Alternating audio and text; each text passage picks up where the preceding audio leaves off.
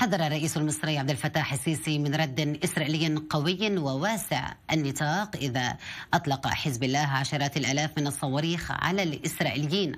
وقال السيسي إن هذا الصراع سيكون له تأثير كبير على الشرق الأوسط مضيفا أنه يجب الحفاظ على استقرار المنطقة وإيجاد حلول من شأنها أن تبقي الصراع بعيدا. أقوال السيسي جاءت على هامش مؤتمر للشباب عقد على مدى يومي الثلاثاء والأربعاء في العاصمة الإدارية الجديدة شرقي القاهرة.